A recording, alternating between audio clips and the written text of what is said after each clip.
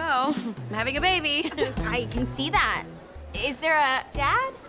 yes, there is one. But we're not together. But it's for the best. I mean, at the end of the day, we were just so different. So now I'm just like really happy. I'm incredibly happy. TMI, Jane, TMI.